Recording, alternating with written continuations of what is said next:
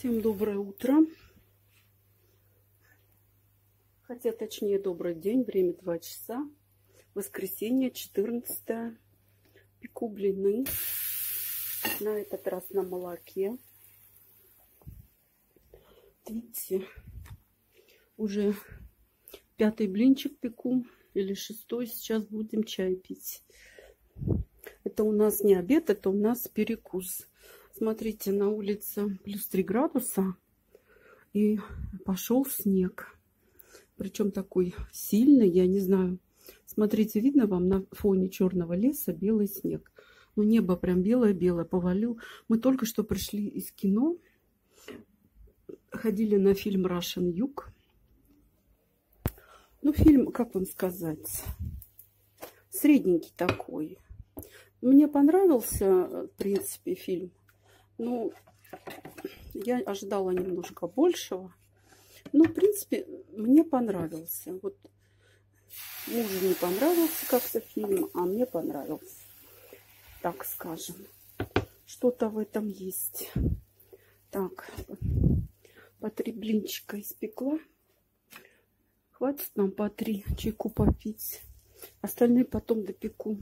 Сейчас чайку попьем. Ладно, по четыре сейчас сделаю. Кстати, те блины на лимонаде мы еще не доели. Просто мужу они не нравятся, он не хочет есть, сладкие не любит. Вот тут остались два куска из этих слипшихся блинов. Получился какой-то блинный пирог. Ну, короче, я доем с утреца с кофейку. Не знаю, мне понравились, мужа нет. Конечно, я немножко там с сахаром переборщила так как блины были на лимонаде, там не надо было добавлять сахар.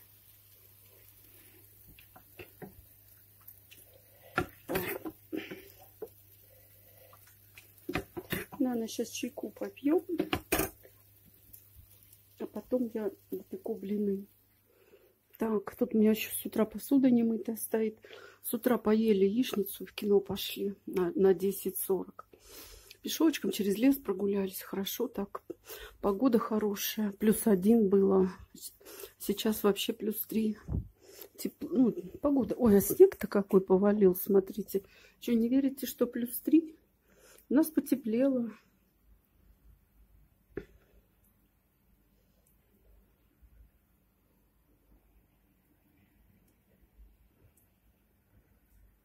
Ой, а снег какой. Ой, так, такие крупные снежинки, пушинки такие обалденные.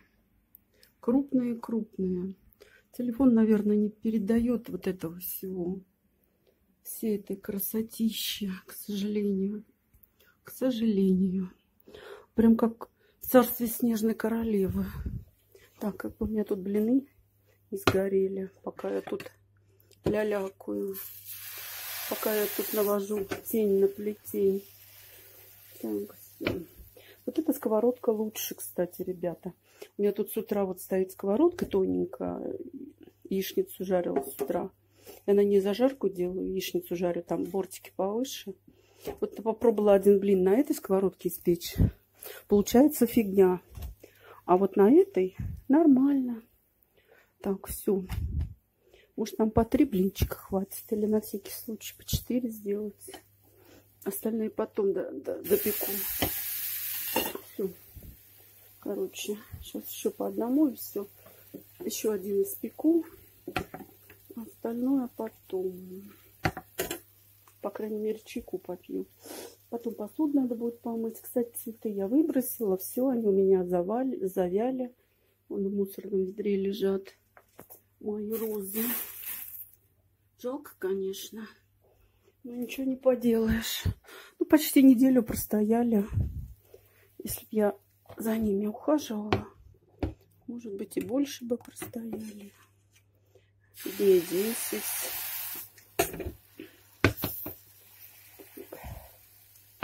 Все, пока хватит. Четыре блинчика. Я думаю, что нам хватит чайку попить. Больше пока не надо. Может быть, даже этого это многовато для меня. Наверное, мне бы и двух хватило. Тем более я один уже съела. Попробовала, так сказать. Так, ну что у нас тут? Горим, не горим. Короче, переворачиваю и выключаю плиту. Чайку попьем. Потом я это дело доделаю.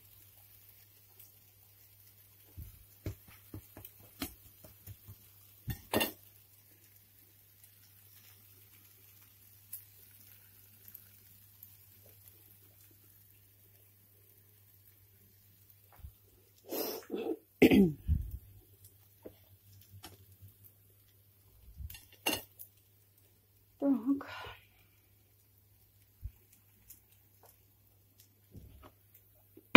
Общем, все. Так, все, испекла я 4 блинчика. Со сметанкой, черный чай. В принципе, там у нас еще можно со сгущенкой. Сгущенка есть. Но мы сладкие уже не хотим.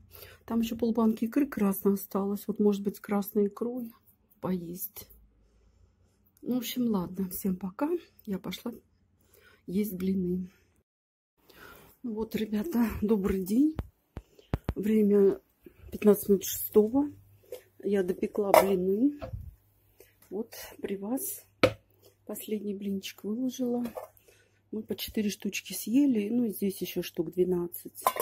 В общем, все. Блины я допекла. Осталось только посуду помыть. Так, мусор сейчас я еще не вынесла. Я вынесу. Так, тут какая-то передача. Ну ладно, не будем о грустном. Так, все у нас хорошо. Блины допечены. Мы их сегодня съедим. Здесь у меня яблочки в вазе.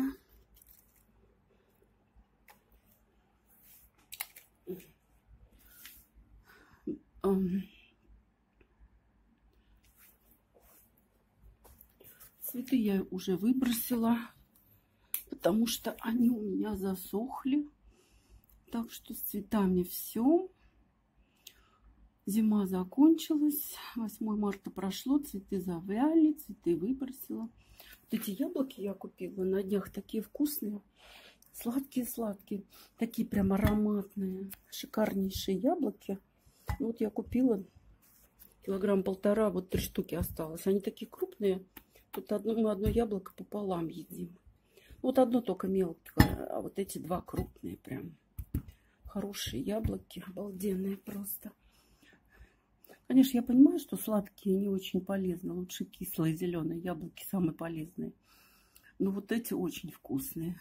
Они прям не то что сладкие, они медовые какие-то. Прям не знаю, что за сорт. Просто обалденный. А я всегда покупаю, даже название не посмотрю. Так, ладно, ребятки, что вам еще показать? Так, гирлянда пусть висит до конца марта как начнет таять снег, как снег растает, я гирлянду сниму. Пусть еще недельки две повисит, три, пока снег не растает. Ну что, ребята, я вам хочу сказать. И вот сейчас вам кое-что покажу. Видите, вот там на детской площадке люди в кружок собрались.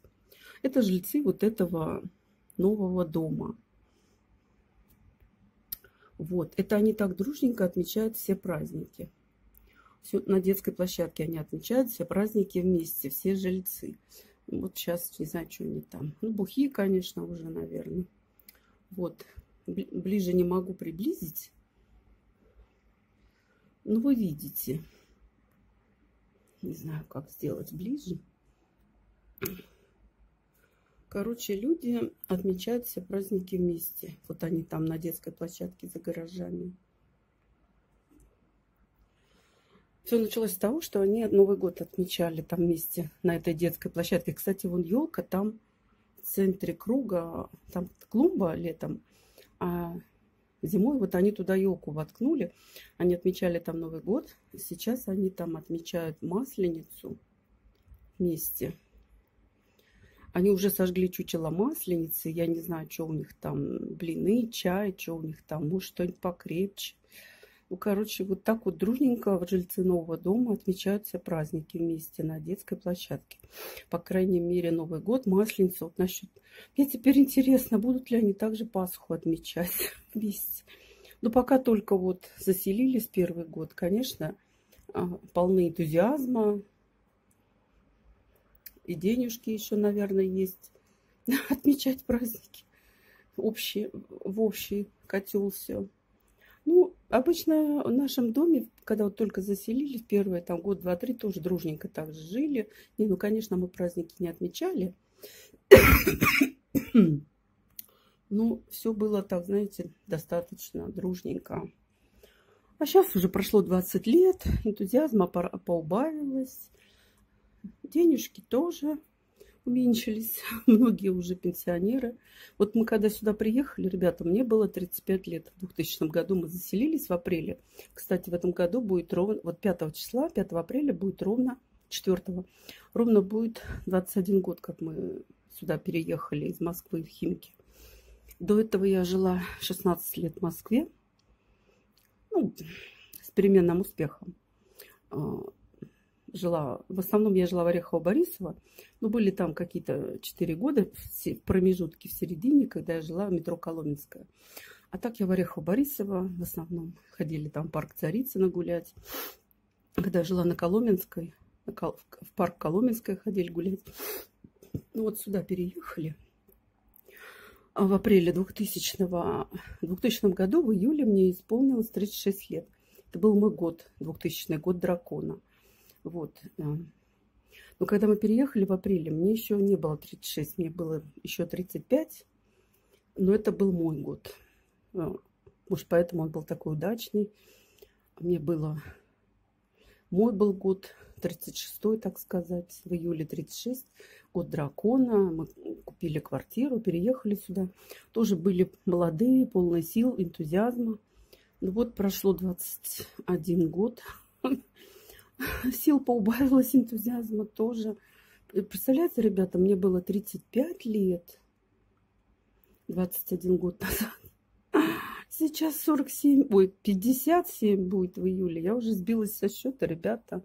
Какой ужас. Вот так прошло 20 лет. Ну, слава богу, я на бабку еще не похожа. Еще как бы держусь. Но 57 я вот... Я помню, когда у меня мать пошла на пенсию в 55 лет. Мне казалось, что 55 это старость, такая глубокая старость, конец жизни. Но когда я, я пошла на пенсию, я вообще не, мог, а, не могла понять, при чем тут я и пенсия. Сейчас 55-летние выглядят как раньше 40-45. То есть то ли люди как-то жить стали дольше, то ли... Ну, царские времена, вот как вот в описаниях там в рассказах, романах Льва Толстого. Помните, там такие были выражения? В комнату вошел 40-летний старик. Представляете, 40-летний мужик считался стариком. А сейчас вроде и 60 еще ничего, он как прыгает на сцене, тот же Газманов, например. Вот. Уже и 67, а Пугачева вчера я видела э, в передаче. Там был какой 95-летие юбилей Зацепина, они отмечали. На телевидении там собрались. Вот. И Сидит зацепен, ему 95, прекрасно выглядит. Ну, я, конечно, понимаю, что он там зарядку делает, йогой занимается, это все понятно. Вот. А Пугачева рядом с ним сидит вообще как 45-летняя девушка. То есть ей же тоже уже там за 70, она же вот младше моей матери года на два, ну на 4 максимум. Вот если моей маме в этом году 75, в августе будет юбилей, то Пугачевой вот с какого она года? Моя мама 46-го, а Пугачева, наверное, либо 49-го, либо с 50-го. Я думаю, что она 49-го, я как-то в интернете смотрела. Значит, Пугачевой 15 апреля в этом году ей исполнится 72. Сейчас ей 71. Ну, уже в апреле 72, моей маме 75 в этом году. То есть на три года она младше. Но выглядит, конечно, по-разному. Вот что значит, если у человека есть а, средства, деньги, желания. Если за собой ухаживать, то и 72 можно выглядеть на 45.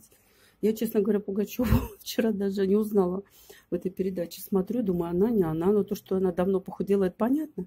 Но у нее еще так вот, э, так лицо так вот хорошо она выглядела вообще. Ну, молодец. Похудела, помолодела лет на 20. Вот с кого пример надо брать.